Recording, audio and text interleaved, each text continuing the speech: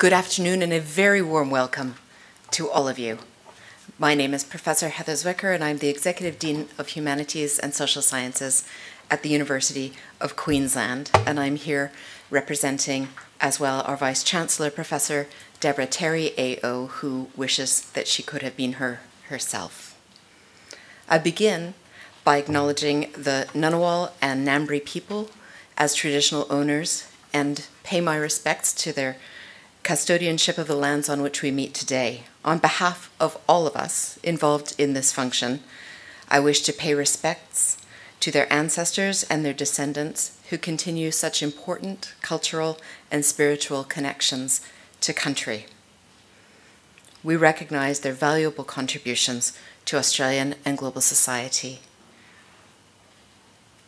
I would like to acknowledge the following people the Honourable Ken Wyatt, Minister for Indigenous Affairs, the Honourable Margaret White, AO, and Professor Tom Calma, who are patrons of the Churchill Trust, and David Trebeck, Chair of the Churchill Trust, Adam Davey, CEO of the Churchill Trust, parliamentary members and staff, senior departmental staff, industry representatives, and Churchill Fellows and staff. A very warm welcome to you all. It is more exciting to be in Canberra than I can say. Until yesterday, it had been, I believe, 13 months and four days, but not that I was counting, since I'd been on a plane, and my heart thrilled to the tiny trays and that tone of apologetic imperiousness that you sometimes get on airplanes, and the iffy card key at the at the hotel, all of that. It's really it's really wonderful uh, to be here, and uh, of course I also want to acknowledge that people who are coming up from Melbourne will also be excited to, for instance, shake hands. I am absolutely delighted to see this partnership between the University of Queensland and the Winston Churchill Memorial Trust come to fruition. This groundbreaking collaboration was the brainchild of Professor Karen Hussey, our former director of the Centre for Policy Futures at UQ, and now Deputy Director General of Queensland's Department of Environment and Science. As the story goes, she was driving home one night in 2019, enjoying a fascinating interview on Radio National's Law and Society report. The interviewee was Jennifer, or Jenny, Bowles, a magistrate in the Children's Court of Victoria and a Churchill Fellow, and she's here with us today. Jenny had returned from her Churchill Fellowship in New Zealand, the United Kingdom, and Sweden with concrete ideas about how Australia's family court system could be reformed to provide better rehabilitation outcomes for young people. It was a light bulb moment for Karen, and any of you in the room who know this will know immediately that meant it was a light bulb moment for all of us.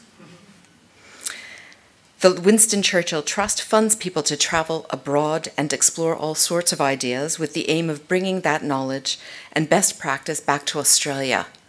What if the Center for Policy Futures, with its attention to turning research into policy, was able to partner with the Winston Churchill Trust in order to address pressing and contemporary policy issues.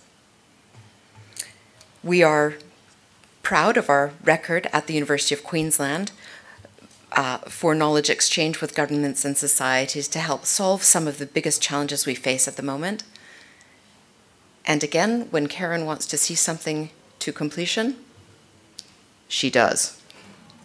So here we are. Without further ado, I would like to introduce the Honourable Minister for Indigenous Affairs, Ken Wyatt. Minister Wyatt created history in 2010 when he was elected as the first Indigenous member of the House of Representatives. In 2016, he became the first Indigenous minister to serve in a federal government after being appointed as the Minister for Aged Care and the Minister for Indigenous Health. Before entering politics, Minister Wyatt worked in community roles in the field of health and education, including serving as District Director for the Swan Educational Districts and the Director of Aboriginal Health in New South Wales and Western Australia.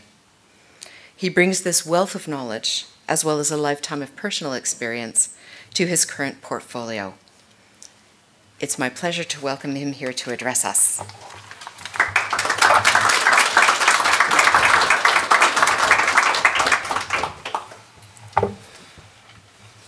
Can I thank you for that welcome?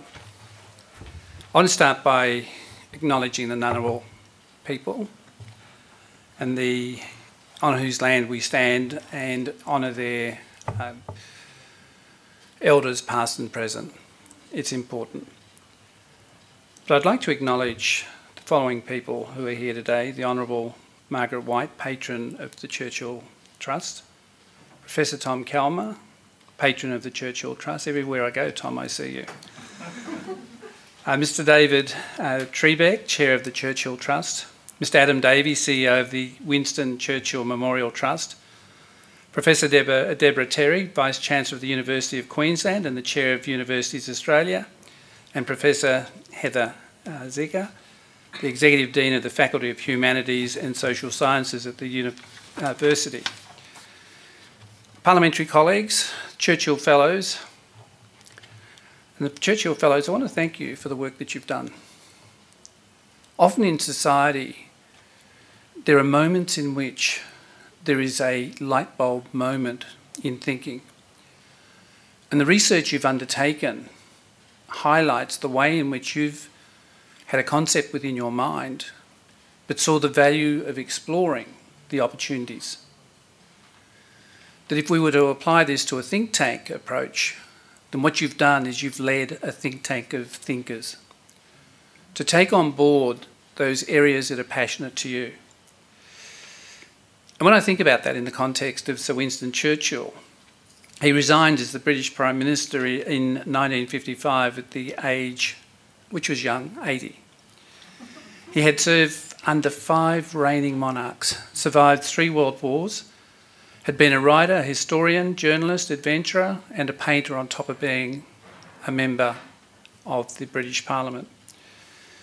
He was also awarded a Nobel Prize for Literature in 1953. I was only one year old then.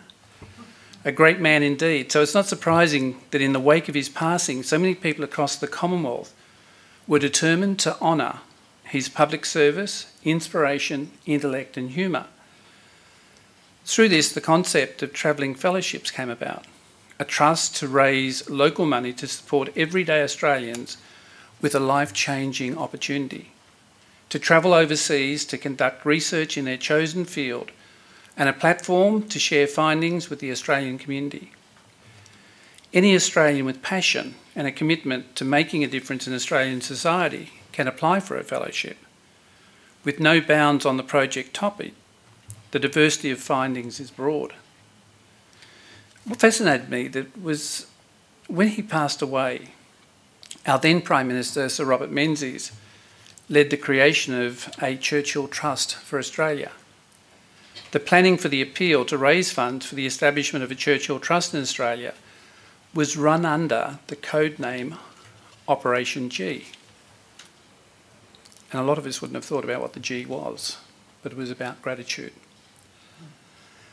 There'd only ever been one national fundraising appeal in Australia at the time for the Heart Foundation. And so the volunteer collectors began one of the biggest and most significant public fundraising efforts in Australia's history. They exceeded the original target of 1 million well and truly, and the national door knocking campaign saw organisations, community groups, clubs, and individuals rally to eventually raise £2.2 million. If you index that effort, it still remains one of the largest public fundraising efforts in Australia's history. It is the only time in our history that the banks opened on a Sunday the one day, or the day of the one day door knock, so that the money could be deposited. That was a great effort, and today I'm pleased to see that this has come to that, what has come of that effort. What we have here today, including in this room, is a group of remarkable individuals supported and funded by Australia's past and present as an investment in our country and in our people. For over 50 years, the Churchill Fellows have been contributing to the betterment of this country in so many areas and in so many ways. and from so many walks of life, covering so many topics, and I commend them for that. This includes the work that Scott Falconer is doing in advocating for the use of Indigenous traditional land management and jobs for Indigenous Australians, and Jessica Cox's important work in child safety, including the safety of Aboriginal and Torres Strait Islander children.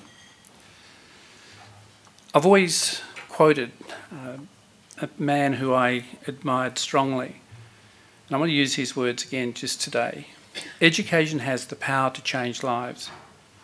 Nelson Mandela once said that change is driven by the weapon of education, that the daughter of a miner can become a doctor, that the son of a peasant be- can become the president of a great country. And that's why this fellowship is so important. Because when you take a concept or an idea and you apply for a fellowship and you have the opportunity to travel to other countries, what you see is that there is a a, a board of opportunities that is like an artist's palette. That in each location there are qualities and outstanding individuals that you engage with in order to acquire the knowledge for your chosen field. And when you bring that together, you bring back ideas for our nation that changes the concepts that we may be take as part of the status quo and accept as ordinary, everyday approaches. When I read some of the uh, extracts and reports in today's report, what fascinated me was the new ideas that, and there's two authors who I'll follow up with because they've presented me with some other lines of thinking that we should seriously engage around and that is the one to do with children in out of home care or children who are taken into care. But what I loved was the proposition that we should invest in the parenting element, not in the residual. That if we intervene early, then the destiny of a child can be changed. That if we take the time to explore other avenues and other opportunities, it creates an incredible reform that sometimes is not contested in the mind of ideas that are important. And so, if we think of everybody who has travelled away on a Churchill Fellowship, then that's an incredible encyclopedia of key areas that are important to the social fabric and structure of our nation. Even the recognition of cultural burning and the way in which knowledge is transmitted, but is not transmitted just to Indigenous Australians, but to anybody who has a role in the management of the land and fire control. So I want to commend everybody, not only the, the trustees, but to all of those who have been participants, but equally to those who weren't recipients of a Churchill Fellowship, who thought about the possibility of accessing an avenue in order to enhance their own knowledge. When you consider Churchill's statesmanship, then what we're doing is creating the opportunity for Australians to take a position on a topic that is close to their heart, to explore it, to consider the avenues of so many ideas, and then to come back and share that. That's what's important, and that is the ongoing legacy of the fellowships. Because those fellowships not only inform the individual, but they inform other Australians. So, in keeping with your plan to start the Trust Operation G, I'd like to say, show my gratitude by saying Yanga, or oh, thank you in Yunga. And I look at the words there learn globally, inspire locally.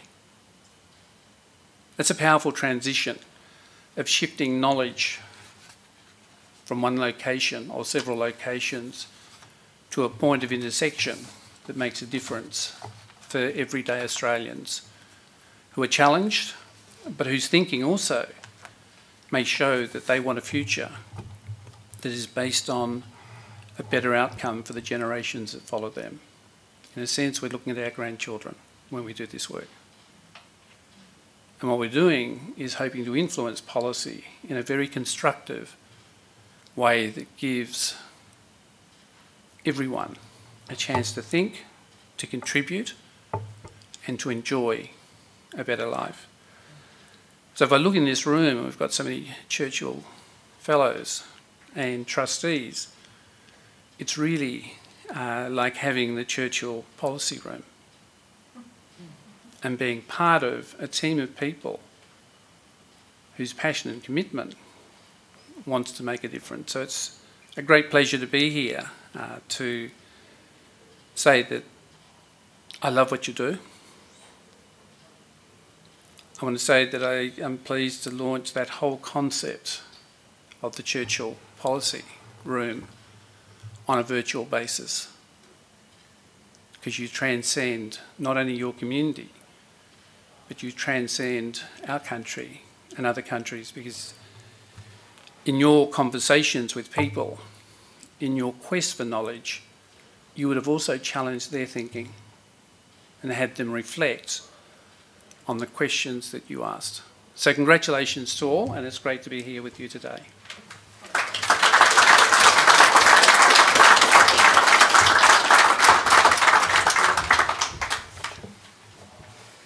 Thank you very much for those remarks, which were um, warm and far-seeing in equal, in equal measure. Thank you very much. I would now like to introduce the Honourable Margaret White, patron of the Churchill Trust and former Supreme Court of Queensland Justice, uh, the first woman to sit on the Supreme Court of Queensland, in fact.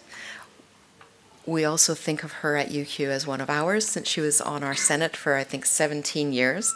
Uh, and I know that Deborah Terry wishes that she could have been here personally to greet you. In August 2016, Margaret was appointed Joint Commissioner with Mick Gooda for the Royal Commission into the protection and detention of children in the Northern Territory, and she'll address us now.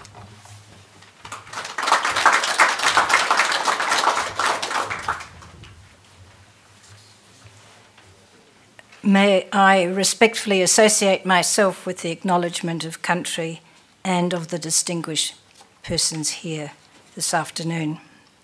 We're most grateful to you, Minister Wyatt, for hosting this event and that a number of honourable members or their staff have been able to come and hear from our Policy Futures Fellows. You will not be disappointed. Winston Churchill, that most quotable of men, sagely observed that the best argument against democracy is a five minute conversation with the average voter. And no doubt you all chat with many voters. Well, there's nothing average about our fellows. As Churchill also said, my tastes are simple. I'm easily satisfied with the best, and the fellows are the best in their field. Most of the over 4,000 fellows from all walks of life have lived up to their promise of returning to Australia and making a difference. Some became or have become household names. Can I give you a quick snapshot of a very few? I can do no better than start with Cathy McGowan, a farmer in Victoria who was awarded her fellowship to study methods used by the Canadian government to communicate and consult with rural communities, particularly with women. She travelled to Canada in 1990 and was inspired by the advances made there, recognising the contribution which country women made to the economy. Cathy, of course, was elected the independent member for the federal seat of Indi in 2013 and became an important voice in this parliament. She was also on the selection panel for our Policy Future Fellows. The ABC's Gardening Australia has three fellows amongst its presenters. Now, that may surprise you. The indefatigable Peter Cundall in 1974 investigated, clearly to great effect, the use of TV to educate about the benefits of gardening. The master of all things citrus, Ian Tolley, was in the first cohort of travellers in 1966, and more recently, Leonie Norrington in 2020 from the top end. Dimity Dornan, a speech therapist, travelled to America to explore auditory verbal therapy for profoundly deaf children when cochlear implants were commencing. And so was born the idea of the Hear and Say centres, now throughout Australia and the entire world, dramatically enhancing the lives of these children. Geraldine Doogue is a journalist who has made an important contribution to the discussion of social, religious, or cultural subjects. She travelled on her fellowship in 2000, but she is just one of a number of media related fellows. Jill Margo of the Australian Financial Review has, I suspect, done more than even the medical profession to advance issues relating to men's health, particularly amongst businessmen. She received her fellowship in 2011. Richard Fidler, who keeps us entertained on long road trips whilst weeding the garden and pounding the pavements, was a 2003 fellow. Amongst the more earthly delights, I mentioned the renowned winemaker Cyril Henschke and 18 other vignerons. There have been sufficient musicians to fill a large orchestra. Piers Lane, the pianist, Genevieve Lacey, the world famous recorder virtuoso, harpist Marshall McGuire, and our youngest Churchill Fellow ever, at 14 years, the late brilliant pianist Geoffrey Tozer. It would be a grievous oversight not to mention Her Excellency the Honourable Linda Dessau, Governor of Victoria, who was awarded her fellowship in 1994 to examine efficiencies in court processes. Her proposed reforms have been adopted around the country. She also served on the board of the Trust. Nine fellowships in all were awarded in the 20 years from 1966 for participation in the Harvard University Trade Union Program in Boston. One of those early fellows became Premier of New South Wales, Barry Unsworth. Wherever I've been in our country, and whatever the activity, a Churchill Fellow is bound to bob up doing something to improve the life of our people. When I was engaged in the Royal Commission in the Northern Territory with Mick Gooda from 2016 to 17, I swelled with pride when we heard from a witness that his or her expertise was enhanced by being a Churchill Fellow. We even had one on a video link from Scotland who was a UK Churchill Fellow. Now, of course, two, as you've heard, are associated with this initiative Magistrate Bowles, from whom you'll hear shortly, and Jared Sharp, a lawyer who was on the selection panel. We have chosen clowns, ceramicists, a doll maker, a saddle maker, cheese makers, a llama breeder, a horse farrier, every kind of allied health worker, medical doctors, and even lawyers. and every year since 1966, there have been projects to enhance the lives of the Aboriginal and Torres Strait Islander people of this country by Indigenous and non Indigenous fellows every year. And that was before 1967, of course, Tom. The breadth and depth of talent are staggering. They have been and are and will be agents for change and inspiration throughout our country, and I salute them all. Thank you.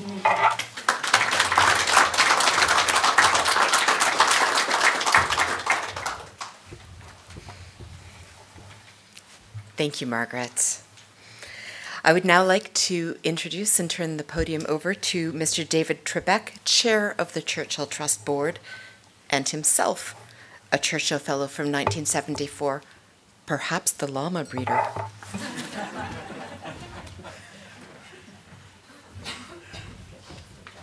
No, regrettably not the llama breeder. Thank you, Heather, and thank you, Minister, again for your uh, involvement here in launching this uh, really quite exciting project. Uh, it is a pleasure for me to be uh, involved in the, in the launch of Policy Futures, not only as chair of the Trust, but also someone whose whole professional career has focused on policy reform of one sort or another.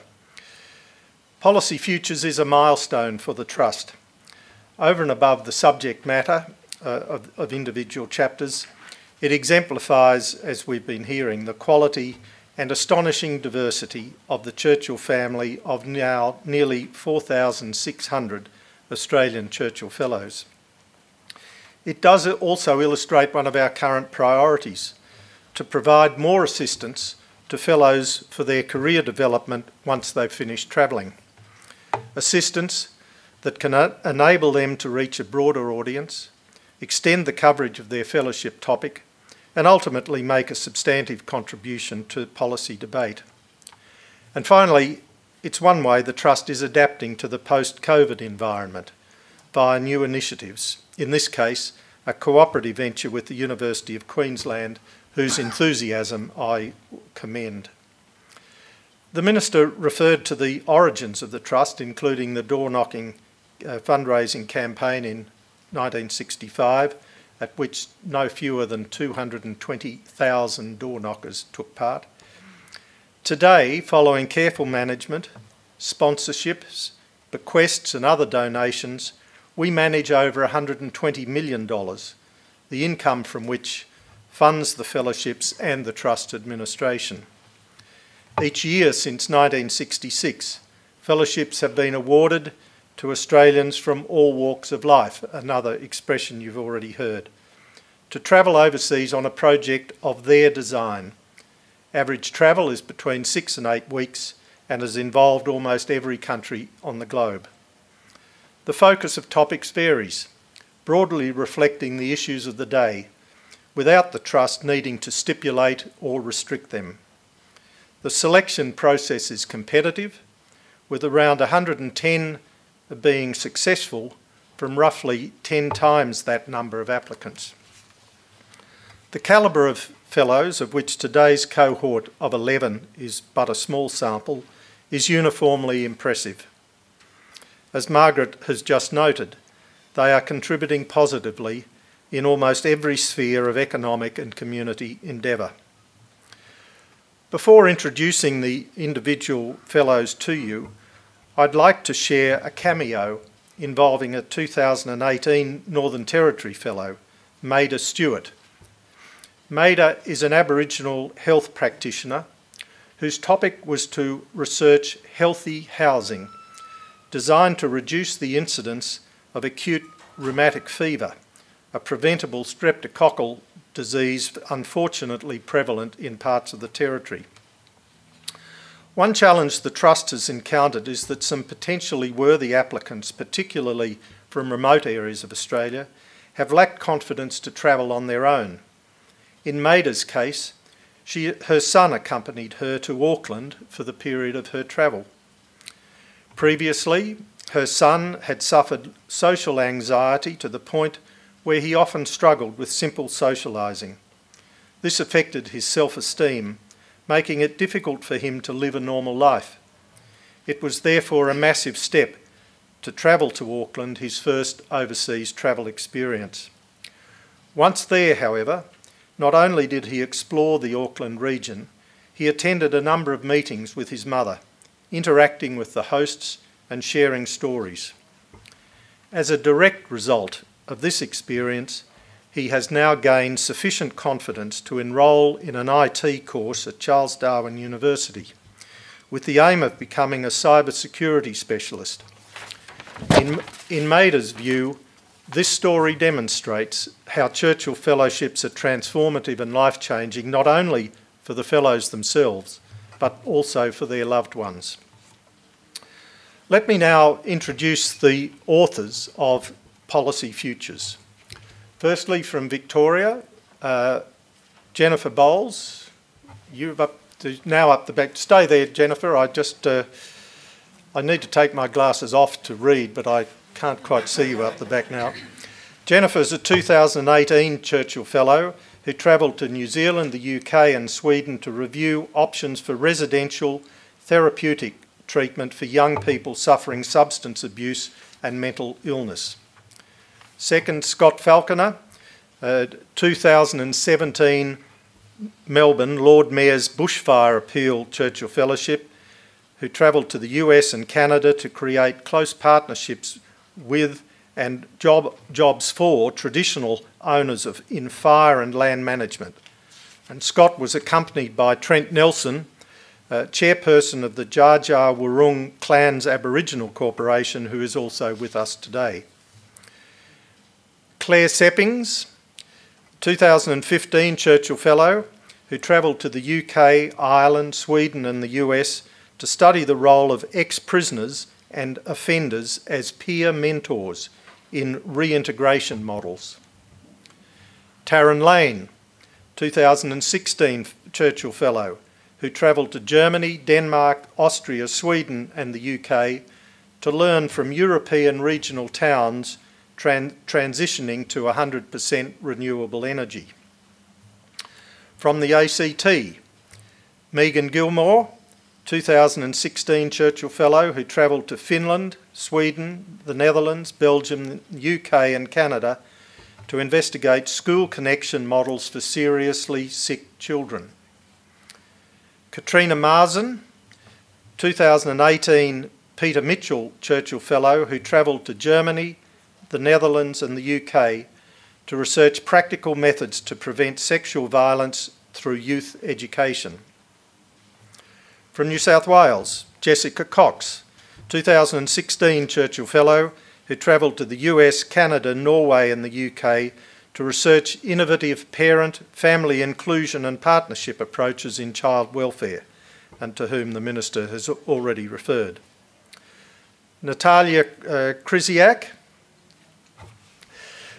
uh, 2018 Churchill Fellow who travelled to Singapore, China, Japan, Canada, and the UK to investigate best practice for designing child friendly, high density neighbourhoods. From Tasmania, Steve Harrison, 2015 Park Family Churchill Fellowship, who travelled to Norway and the UK to investigate school to work apprenticeship pathways in the aquaculture salmon industry. And from Queensland, Catherine Webber, 2018 Rodney Warmington Churchill Fellow, who travelled to the Netherlands, Germany, UK, US, and Canada to increase accessibility to public toilets by researching taboos, design, policy, and legal bar barriers. And finally, to, from South Australia, Owen Churches, who unfortunately, due to a, a bout of chicken pox, is unable to join us today. And Owen's uh, fellowship in 2018 saw him travel to the UK, Belgium, and Austria to explore fairness and accountability in the use of government decision making algorithms. Again, another topical uh, project, particularly in this building. Three of these fellows will now speak briefly and we've got to keep our eye on the clock because question time uh, looms. And I'd like to commence by inviting Jennifer Bowles to the stage.